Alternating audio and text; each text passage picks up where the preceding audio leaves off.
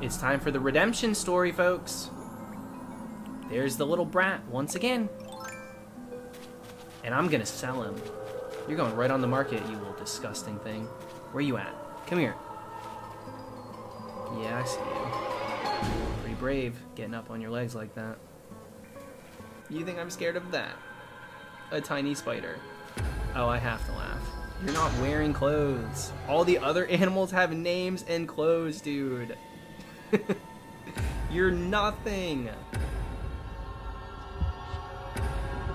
Where'd it go? Ah!